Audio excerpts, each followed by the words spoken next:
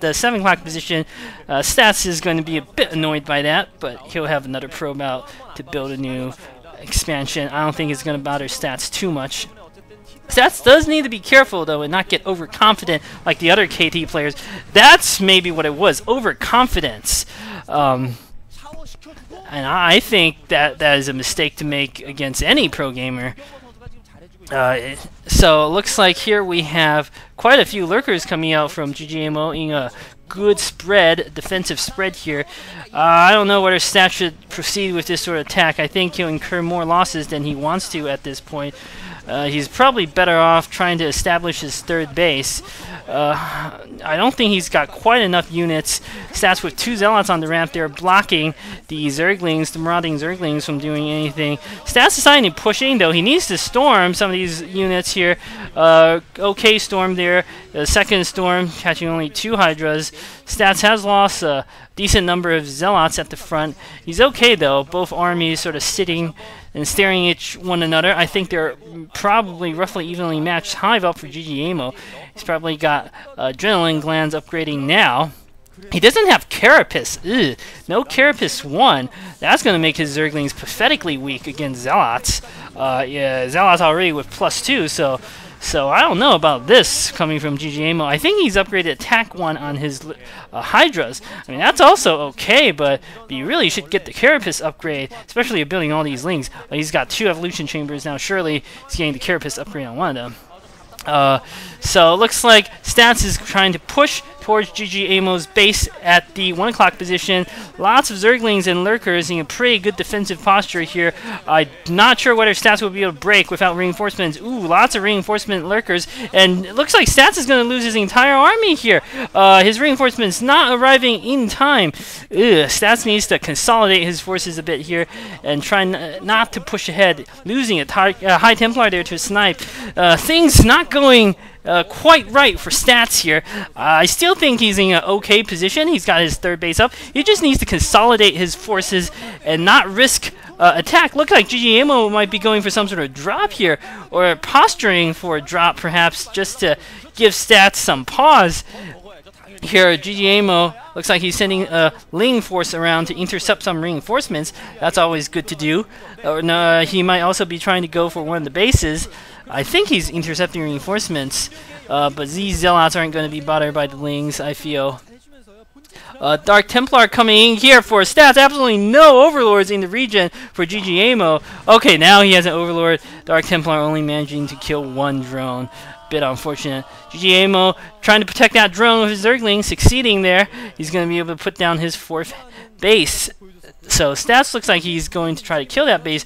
GG he might do well to launch some sort of counterattack instead of trying to save this barely building base here. Uh, it looks like that's what GG is doing. But he's only sending out a tiny army there to launch an attack. Just a handful of lings. That's not going to do much. Oh, ggaemo going for the drop. So he was going for a drop with all these overlords. If he goes for massive dropping stats main, and surely these lings are adrenaline gland upgraded at this point, he could do some serious, serious damage. So, so with just one drop, ggaemo may be able to take a decisive lead in the game. If, on the other hand, Stats sniff this out and moves his troops in position to defend, uh, ggaemo is going to be in serious trouble. He can't afford to lose these units. Stats with his army in position. He scouts the drop coming, uh, so I think Stats should be able to pull back in time. I don't know why Stats is not pulling his army back. Okay, now he's pulling his army back. I don't think ggaemo is going to be able to accomplish too much with this drop. He might pick off gateway or two at most, but but uh, he's not going to be able to quite have the success he wants. Uh, stats with uh, High Templar in the region. He can storm all over those lurkers. Uh, one storm, not the best. Uh, stats needs to bring his army back. Uh, lots of lurkers going down, killing things all over the place. ggaemo with clever little attacks at the front and this drop at the back. I don't know why Stats is uh, didn't move his army back a bit faster to deal with this. Stats is going to be able to clean it up, but he's lost uh, quite a few probes at his main. ggaemo in a good position. I still don't think this drop was really that crippling. Still, the little advantages are adding up slowly for ggaemo here. ggaemo might be thinking of going for a second drop with these uh, Overlords and Zerglings. ggaemo also putting down another base. This is sort of clever. Uh, he is just going to use these drops to sort of force stats to stay in his base while he expands all over the place, taking firm map control. This is I like this move. Uh, if he can repeatedly keep statsing his base. I don't know what happened to stats' uh, Corsairs. He had like two or three. Bring those Corsairs here to deal with the Overlords. It's always nice. Uh, looks like ggaemo with his Overlords deciding to back off. Absolutely no anti-air there for stats. And you see those Overlords just uh, move around at will, doing whatever the hell they want. That's a bit silly um, for for stats to not try to contest the air. ggaemo may be going for Stats' new base. If he manages to pick off that new base with these Overlords, Stats is going to be in serious trouble. He's going to be down to only one mining base plague all over these Zealots. Uh, storm going down over Lurkers. Uh, massive storms going down for Stats. However, ggaemo is dropping all over Stats' base at the 7 o'clock, and Stats has nothing there to defend. He's got two Zealots and a handful of cannons. That's not going to be enough. And if Stats loses this Nexus, he's going to be in serious, serious, serious trouble. Stats looking very worried there. Uh, Stats not doing very well at all this game either. Uh, I think KT Roaster is going to go out 3 to uh, 4 1 to, to Air Force Ace. Absolutely uh, unexpected. Complete upset here, I would argue. ggaemo's army now wiping out the Nexus at the 7 o'clock position, uh, killing Stats' units in the front. Uh, ggaemo now with plenty of bases, four bases of its own. Stats trying to go in for some sort of counterattack here, but not able to do enough. I feel this uh, High Templar not even going to be able to storm drop effectively, killing three drones. That storm, I don't even know what Stats was doing with that. So, so stats, you know, you can't allow these overlords to maraud around the map at will there. Two or three Corsairs would have given uh, ggaemo sufficient pause to abandon any sort of attempts at drops. But Stats now in deep, deep trouble. He's down to one mining base against four for GGAMO. GGAMO was doing fine earlier when he was at roughly economic parity with Stats.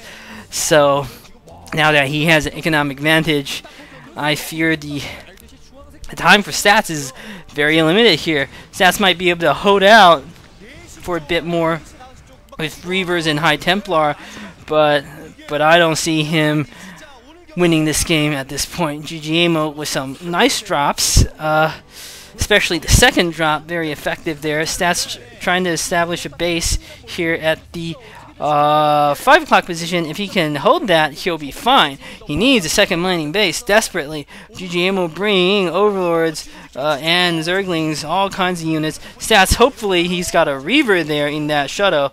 Uh, uh, similarly, ggaemo could use a pair of Scourge to snipe that shuttle.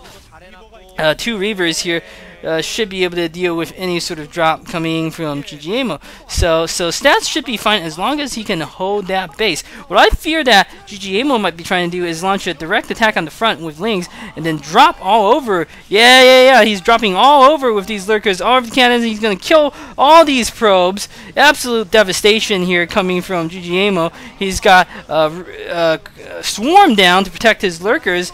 Oh, man, all these probes are coming. They're going to get absolutely massacred. So many lings swarming too. I don't know where Stats' Zealots are. Yeah, they must have been wiped out. Uh, reasonably good uh, shuttle, of course, uh, uh, shuttle Reaver micro here. One of the Reavers goes down. The Nexus is getting picked off. Nexus is in the red now. Uh, stats just managing to clean it up. We've got Scourge coming to try to pick off the shuttle. Fortunately, one is Scourge getting killed by Stats here. ggaemo absolutely relentless in his attacks. Swarming Lings. All kinds of Lings. Just just charging into uh, Stats' base at the 5 o'clock. And all ggaemo has to do is pick off that base. Fortunately, Stats with three Archons and a Reaver going to be able to hold out against Slings for some time. Ah, his Reaver goes down. That's not going to help. Oh, Ultralisk out for for for uh, ggaemo here, and that's exactly what he needed to do. Fortunately, Stats again with his uh, three Archons here, able to hold out for some time. This Scourge are probably coming to pick off that shuttle. Ugh, I think Stat should have held that shuttle in defense, honestly. He needs to hold his base. There's no question. However, the Overlords are going to come in and drop and break through that Archon blockade. This is what I mean. This is why it's so critical to have air control And these Archons are absolutely hero units, holding off practically forever there against uh, the constant Ling attacks and against Ultralisk. And now they're going to pick off these Lurkers. Absolutely hero Archons.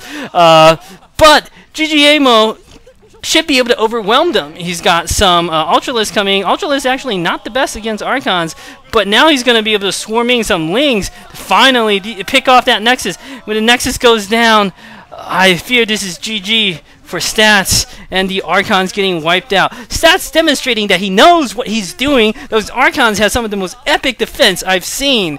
Uh, but but now Stats is pushing out in the middle with a few more Archons. This force is going to get surrounded and wiped out. Uh, some storms, it hardly matters at this point. GG coming from Stats. I don't know. This seemed like arrogance